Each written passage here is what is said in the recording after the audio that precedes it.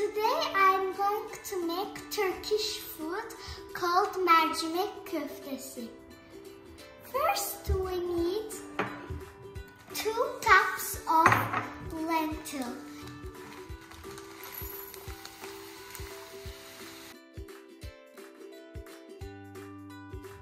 Now I will wash them and cook.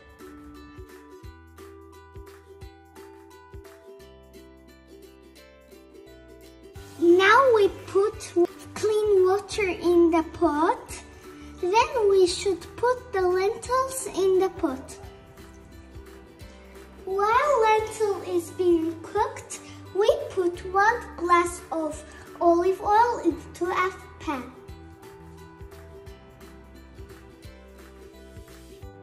Now we chop some onions, then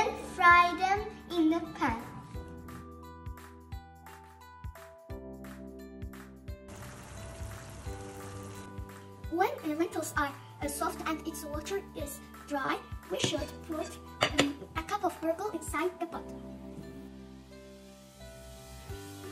Now we should uh, mix them and then shut the lid tightly so burgers uh, cook in the steam and then we wait for 10 minutes.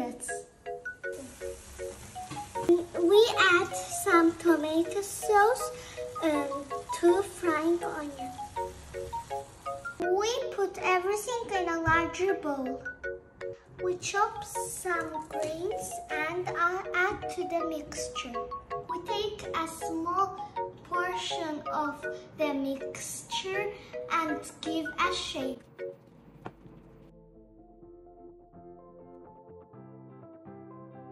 Now our mercimek köfte is ready. Afiyet olsun.